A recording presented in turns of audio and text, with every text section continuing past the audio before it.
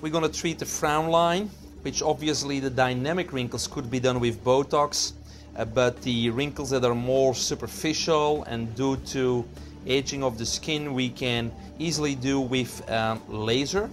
Uh, today we're going to use the Matrix IR, which is laser combined with radio frequencies. Actually a fractional device, fractional lasering with radio frequency. And we're gonna do two passes.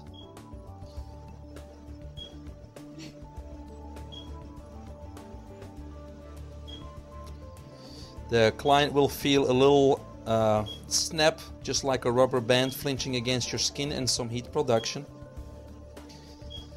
And this was one pass, and now we're gonna go perpendicular.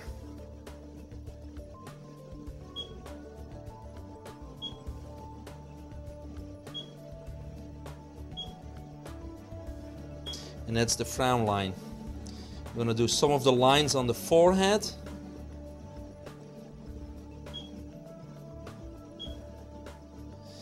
And we're not overlapping here. We're just gonna go adjacent.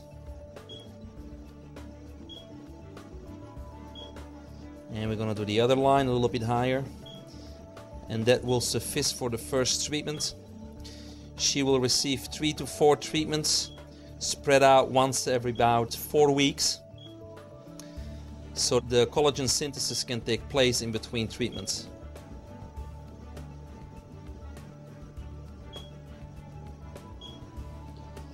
And three more beeps. And that's it